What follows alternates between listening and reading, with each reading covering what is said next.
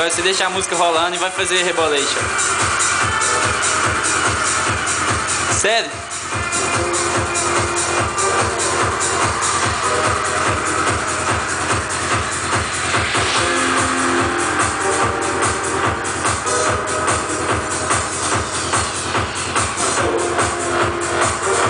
Vai, fi, vai, vai, vai.